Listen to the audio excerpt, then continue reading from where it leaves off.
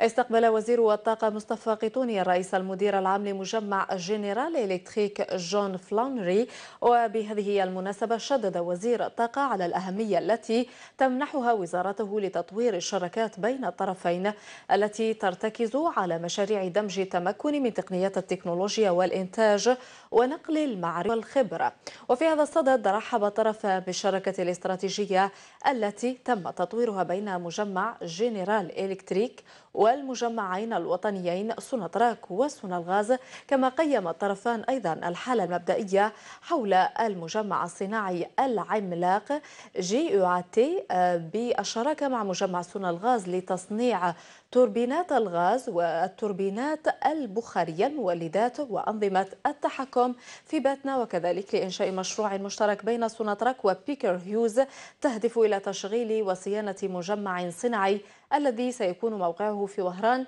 لتصنيع وبيع تجميع المنتجات المخصصة لأنشطة النفط والغاز مثل حفر الآبار وإنتاجها.